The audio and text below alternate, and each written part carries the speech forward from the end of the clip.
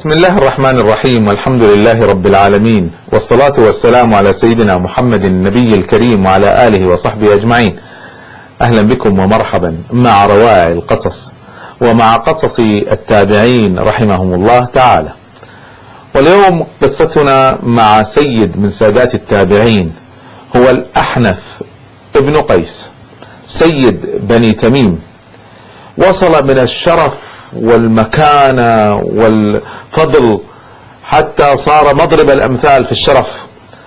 رغم أنه سبحان الله من ناحية النسب ومن ناحية الجسدية شيء بسيط لكن رفعه عقله وحلمه ذلك هو الأحنف. ابن قيس الذي يقول عنه زياد بن أبيه إن الأحنف ابن قيس بلغ من الشرف والسؤدد ما لا تنفعه الولاية ولا يضره العزل. يعني لو استلم أي ولاية حكم أي بلد ما يرفع شأنه.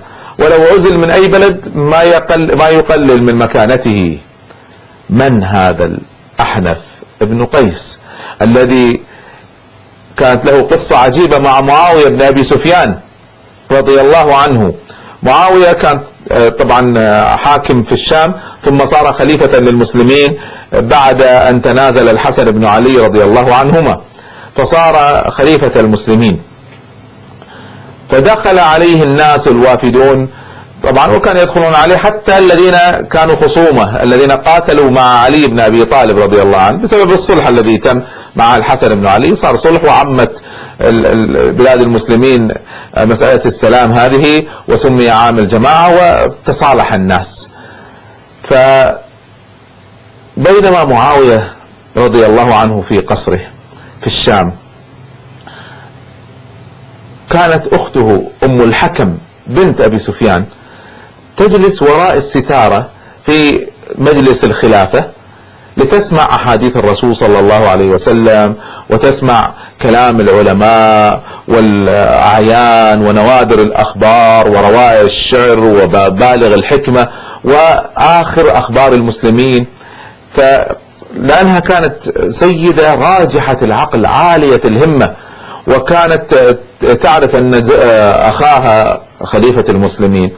يعني يدخل عليه كبار القوم وأفضل الشعراء والعلماء. وكان يدخلهم حسب مراتبهم. يعني لما يجتمعون عنده في بداية النهار الترتيب حسب مكانتهم. فكان يبدأ بأصحاب النبي صلى الله عليه وسلم ما يؤخرهم عند الباب ويقدمهم على من سواهم ثم يليهم كبار التابعين وأهل العلم وذوي الأحساب وهكذا. في هذا اليوم انتبهت أم الحكم أن أخاها يستقبل الزائر الأول استقبالا فاترا. وسمعته يقول والله يا أحنف ما تمثلت يوم صفين اليوم الذي حدث فيه القتال بين معاوية رضي الله عنه وأمير المؤمنين علي بن أبي طالب رضي الله عنه وكرم وجهه. يقول معاوية يعتب على الأحنف لأن الأحنف ابن قيس كان وقف مع علي بن أبي طالب ضد معاوية.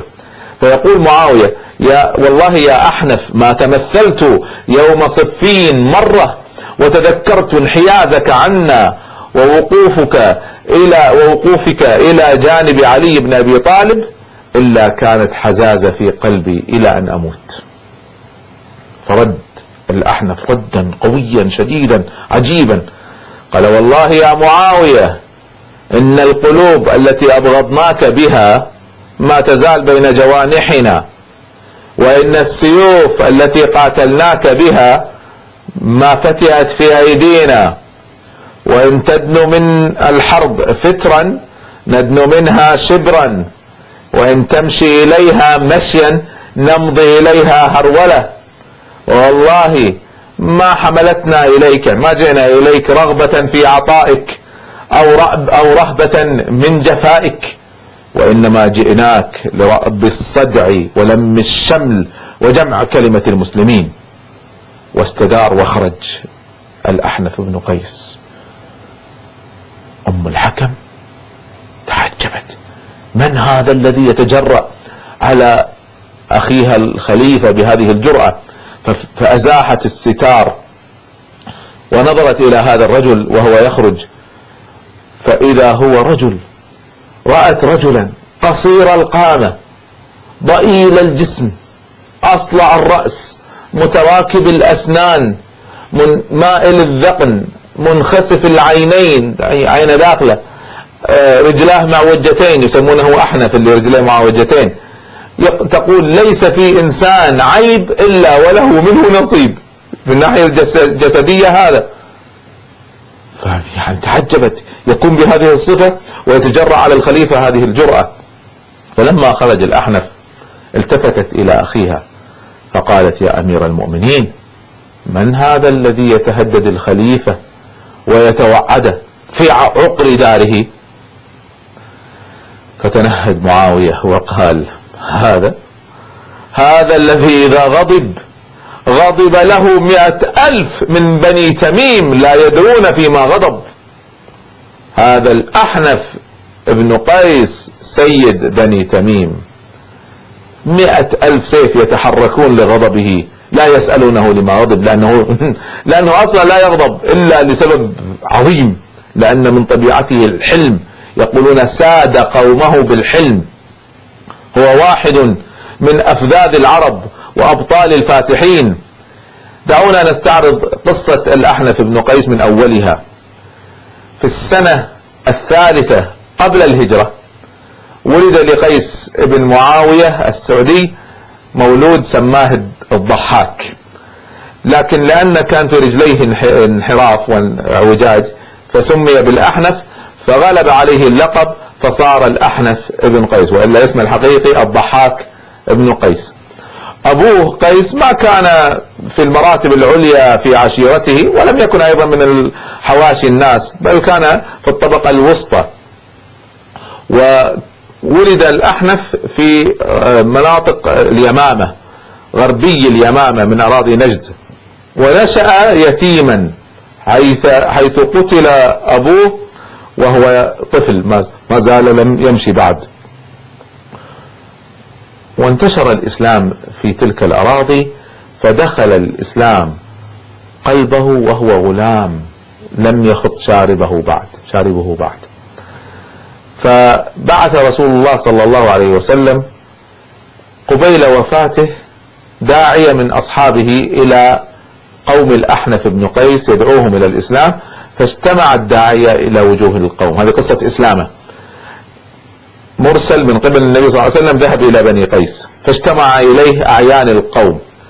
والأحنف صغير طفل صغير. يعني عمره يمكن حوالي عشر سنوات. فأخذ يعرض عليهم الإيمان. ويعرض عليهم الإسلام فسكت القوم. وأخذ كل واحد منهم ينظر إلى الآخر. فهنا الأحنف وكان حاضرا عشر سنوات 12 سنة بهالحدود. قال يا قوم ما لي أراكم مترددين؟ تقدمون رجلا وتؤخرون رجلا. والله إن هذا الوافد عليكم لوافد خير. يدعوكم لمكارم الأخلاق وينهاكم عن سيء الأخلاق. والله ما سمعنا منه إلا حسنا فأجيبوا داعي الهدى تفوزوا بخيري الدنيا والآخرة. كلام عجيب من طفل صغير. فلما سمعوه فكروا فيه كلام حكيم فأسلموا وأسلم معهم. وانطلق الوفد على رسول الله صلى الله عليه وسلم. في رواية أنه ذهب معهم ولذلك بعض الناس يعدونه من الصحابة وبعض الناس يقولون لا لم يكن هو وإنما غيره. فلكن آه هذه من الروايات المشهورة أنه لما ذهب قومه إلى النبي صلى الله عليه وسلم لما وصلوا إلى المدينة استعجلوا. كانوا مستعجلين فتركوا أغراضهم إبلهم وأغراضهم بدون ما حتى يربطوها وينزلوا عنها ال- الأغراض واستعجلوا للذهاب النبي صلى الله عليه وسلم وتركوا كل شيء. فالأحنف شاف أن إبلهم وأغراضهم كلها ستذهب فنزل بهدوء وربط الأغراض ونزلها ويعني ربط الإبل ونزل الأغراض ويعني كان ما عنده استعجال. ثم في الرواية أنه دخل على النبي صلى الله عليه وسلم وسلم عليه. فعرف لماذا تأخر النبي صلى الله عليه وسلم فقال إن فيك خصلتان يحبهما الله ورسوله الحلم والأناة قال يا رسول الله أهما خصلتان تخلقت بهما. يعني مكتسبة.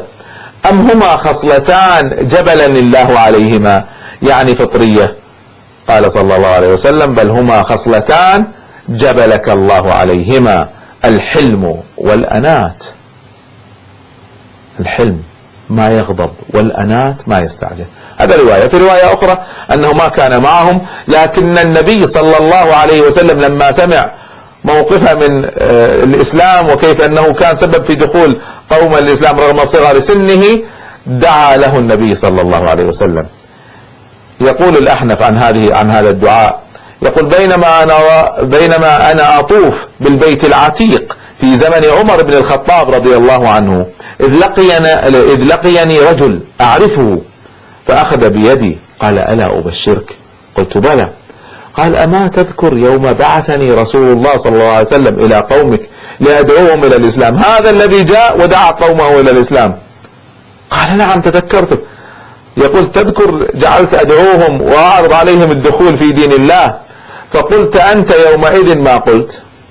فقال الأحنف بلى أذكر. قال فإني رجعت إلى النبي صلى الله عليه وسلم وأخبرته بمقالتك. فقال اللهم اغفر للأحنف. فكان الأحنف يقول ما من شيء من عملي أرجى لي يوم القيامة من دعوة الرسول صلى الله عليه وسلم. أكثر ما يطمئني أن النبي صلى الله عليه وسلم دعا لي يوم القيامة. أنه الله سبحانه وتعالى يغفر لي. لما مات النبي صلى الله عليه وسلم ولحق بالرفيق الأعلى ظهر أمر مسيلمة الكذاب. طبعا ظهر أمره قبل قبل وفاة النبي صلى الله عليه وسلم لكن اشتهر أمره بعد وفاة النبي صلى الله عليه وسلم. وارتد عن الإسلام بسببه من ارتد من بني تميم ومن بني آه، حنيفة. وكان آه، من آه، الأحنف بن قيس في تلك المناطق. فذهب الأحنف بن قيس مع عمه المتشمس ليلقيا مسيلمة ويسمع منه. وكان الأحنف في بواكير شبابه عندئذ. فلما سمع من مسيلمة وخرج من عنده قال المتشمس لابن أخيه كيف, كيف رأيت الرجل يا أحنف؟ فقال الأحنف كلمة عظيمة في حق مسيلمة قال رأيته مبطلا يفتري الكذب على الله وعلى الناس. فهنا عمة قال له ممازحا له قال ألا تخشى على نفسك ألا تخشى على نفسك إن أخبرته بتكذيبك إياه؟ ما تخاف يعاقبك إنك أنت كذبته؟ فقال الأحنف عند ذلك أحالفك عنده. فهل تحلف أنك لم تكذبه كما كذبته؟ كذب واضح. فضحك العم قال بلى. بل كان الأمر واضح فثبت الأحنف وثبت عمه على الإسلام ولم يرتد. مع أنه في بواكير شبابه إذا كنتم قد استغربتم ودهشتم من هذه المواقف الحازمة وهذا العقل الراجح الذي وقفه الذي أوقف الأحنف هذه المواقف في عظائم الأمور في بداية عرض الإسلام على قومه هو كان السبب في هدايتهم. وفي أمر خروج مسيلمة هو الذي رفض وأبى أن يرتد وثبت الناس الذين حوله على ذلك رغم صغر سنة. كل هذا العجب سينقضي. إذا عرفتم أن هذا الفتى من بني تميم كان نادرا من نوادر الدهر. سبحان الله قدرة عقلية عالية ذكاء فطانة حكمة بلاغة فصاحة أضف إليها أخلاق. سبحان الله أحيانا الجسم يعني لا ينبئ عما في ما حقيقة الإنسان. فسبحان الله يعني جسمه كان مثل ما يقولون فيه عيوب كثيرة لكنه عقله كان كامل سبحان الله. فكان نادرة كما يقولون من نوادر الدهر في حدة الخاطر وتوقد الذكاء وصدق الفطرة وصفاء النفس. ومن أس ومن الاسباب التي دعت إلى ذلك وأعانته على ذلك أنه منذ نعومة أظفاره كان يجالس الكبار والمشايخ ويغشى نوادي العلماء والسياسيين ويشهد لقاءاتهم ويتلمذ ويتتلمذ على أيدي الحكماء والحلماء. وهذه فيها نصيحة للمربين احرصوا على أن الشباب يجلسوا مع الذين هم أكبر منهم سنا. احرصوا على أنهم يخالطوا هؤلاء الكبار فيتعلموا منهم. لا يكون الشاب ولا الطفل فقط مع الأطفال ومع الصغار لن يتعلم كثيرا. احتكاكه بالكبار سيربيه على ذلك. يحدث الأحنف عن نفسه يقول كنا نزور مجالس قيس بن عاصم المنقري فنتعلم منه الحلم كما كنا نزور مجالس العلماء لنتلقى منهم العلم. سبحان الله يعني وصل هذا قيس بن عاصم من الحلم. الحلم إن الإنسان ما يغضب. سبحان الله بعض الناس عندهم قدرة أن يمسكوا أنفسهم. ما في نرفزة ما في عصبية ما يغضبوا. هذه مسألة يستطيع الإنسان أن يتعلمها. يتعلم الحلم. إنما العلم بالتعلم وإنما الحلم بالتحلم. يقول الأحنف تعلمت الحلم من قيس بن عاصم كما تعلمت العلم من العلماء فقيل للأحنف وما الذي بلغ من حلم قيس بن عاصم المنقري؟ قال جئته مرة. هكذا وصل هذا أستاذ الأحنف في قضية الحلم. وصل من حلمه يقول الأحنف قصة عجيبة عنه. يقول جئته مرة فرأيته قاعدا بفناء بيته في حوش البيت في صحن البيت. محتبيا بحمائل سيفه.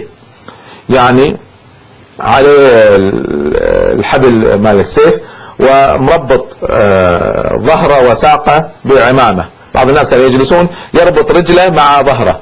حتى يعني يكون جلسة ما يحتاج يفتح رجله ولا يحتاج يتعب بالحركة مربوطة.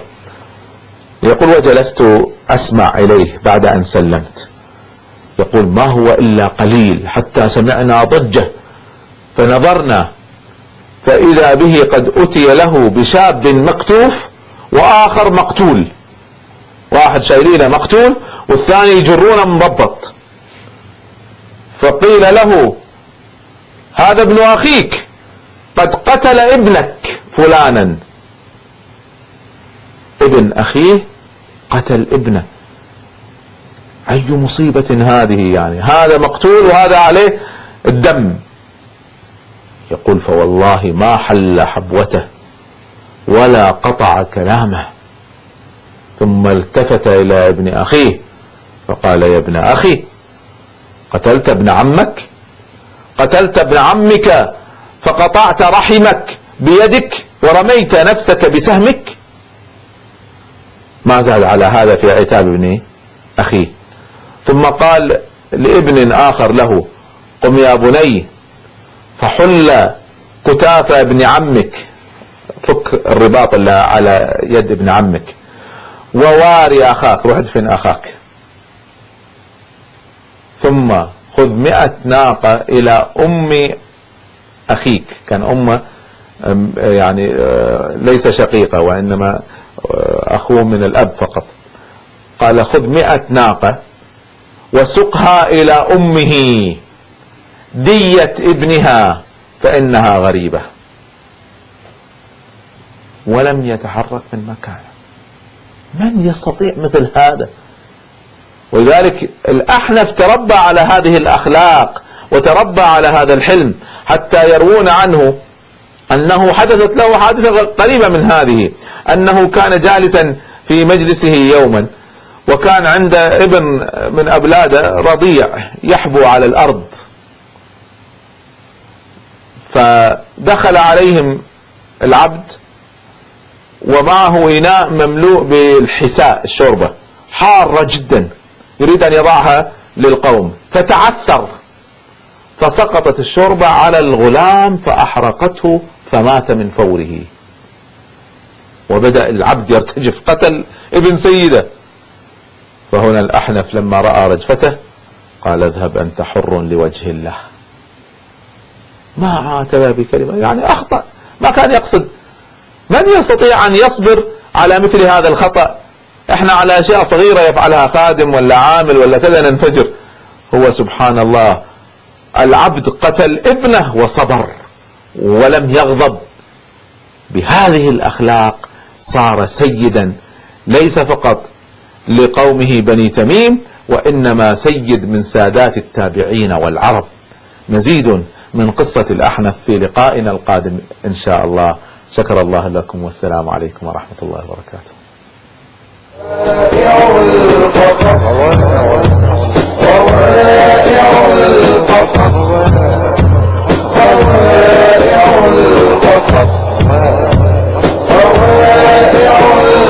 القصص.